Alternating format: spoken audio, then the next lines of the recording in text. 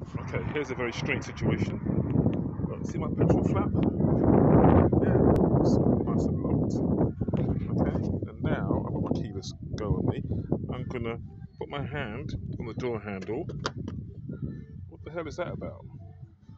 And then if I go to lock it or to close it, it doesn't close.